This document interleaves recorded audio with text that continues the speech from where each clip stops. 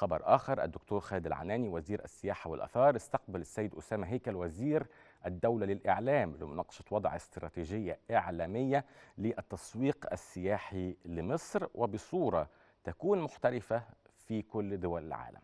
كمان ناقش الاجتماع محاور الاستراتيجية اللي هتضمن أيضا آه، اليات بقى الإعلامية المختلفة سواء للترويج للأماكن السياحية والأثرية أو العروض السياحية المختلفة في مصر. ويكون ده بشكل غير نمطي وغير تقليدي الحقيقة ماشيا مع آه، أيضا التطور اللي بيحدث في العالم في مجال طبعا الماركتينج أو التعريف بالسياحة. كمان هيتم تسليط الضوء على الافتتاحات والمشروعات الأثرية والسياحية الجديدة اللي بتقوم بها الدولة من خلال جهودها لدعم قطاع السياحة والإثار والآثار والحفاظ أيضا على تاريخ والإرث الثقافي والمقاصد السياحية الطبيعية.